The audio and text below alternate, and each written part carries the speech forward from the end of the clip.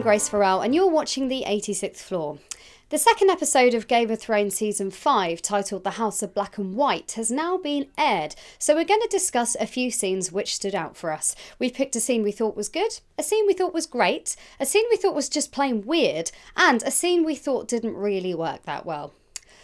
In all, it was a pretty subdued episode as Game of Thrones goes.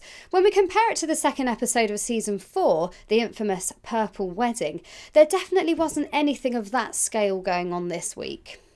For us, the good scene was Jon Snow being made Lord Commander of the Night's Watch. It was a bit predictable, but it serves to move the narrative forward and sets Jon Snow up for a clash with Stannis. The fact that he's chosen to be Lord Commander of the Night's Watch and not Lord of Winterfell like Stannis offered reiterates his loyalty to the Watch before everything else, including Stannis' cause. The truly great scene of this episode was Brienne being an absolute badass against Petyr Baelish and his cronies. She makes fighting 10 men look like it's no big deal, frees a load of their horses just to annoy them, and kills a few of them, as well as outriding them and saving Podrick. Then, she's really understanding of Sansa being an idiot and choosing Littlefinger over her. We just can't get enough of Brienne of Tarth. The woman's unstoppable.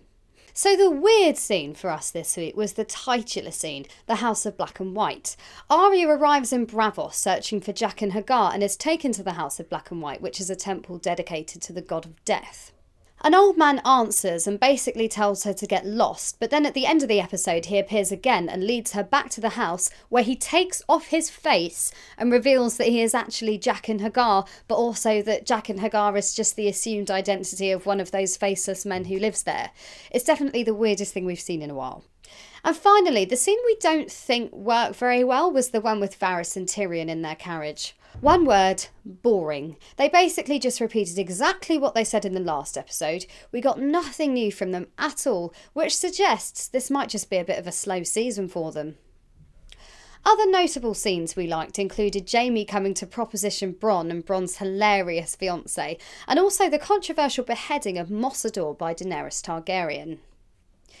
What did you think was good, great, and weird in the episode? Let us know in the comments below and subscribe for more Game of Thrones videos. Hello YouTube, we're Anime K and this is all four seasons of Game of Thrones in one song. There's a wall, a few asshole families, and one very uncomfortable chair.